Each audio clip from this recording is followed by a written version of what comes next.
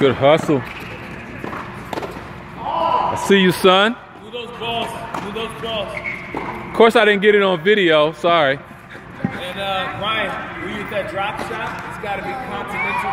Ryan, you hit the drop shot, it's got to be continental grip. You're just turning your wrist. You got to change the grip, and that's also the grip you should have on that serve. Where's the split step, Torian? like that though. Hey, so I like that. It's good focus, man. He can make that ball. It's good split step, move.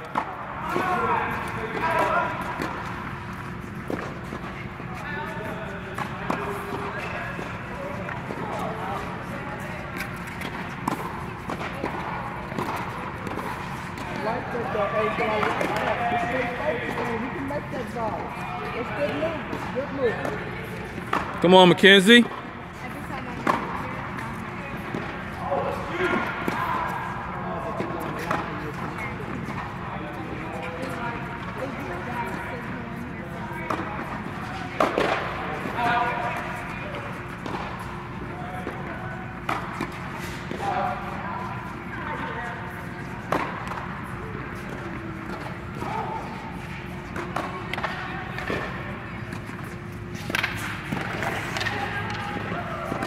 You all right?